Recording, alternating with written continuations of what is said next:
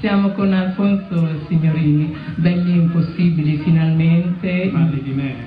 Beh, anche per me lei devo dire affascinante, forse è più importante essere affascinanti, la bellezza, quali sono i canoni della bellezza del maschio italiano? Mamma mia, Platone già ci, ci parlava e ci ragionava migliaia di anni fa.